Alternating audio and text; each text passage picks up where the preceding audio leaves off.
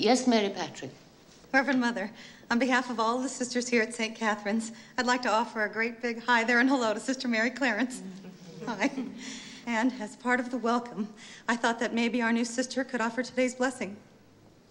Well, that is very thoughtful of you, Mary Patrick, but I really. Oh, yeah, yeah, I, could- I could do that. Uh, sure. Okay. Uh, bless us, O Lord, for these thy gifts which we're about to receive. And yea, though I walk through the valley of the shadow of no food, I will fear no hunger. We want you to give us this day our daily bread and to the republic for which it stands. And by the power invested in me, I pronounce us ready to eat. Amen. Come in. Be seated.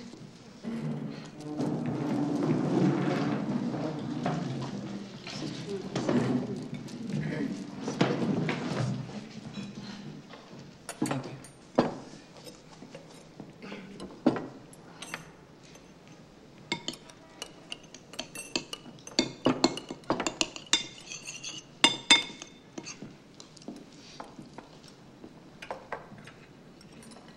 Oh, oh.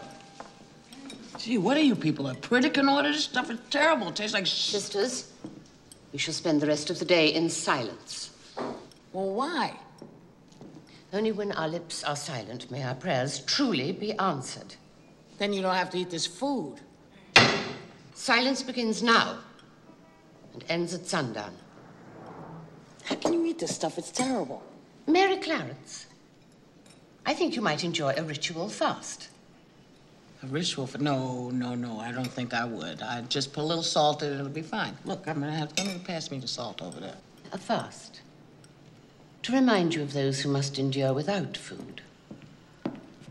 I, no, I don't want you to. I don't want you to take my plate. And silence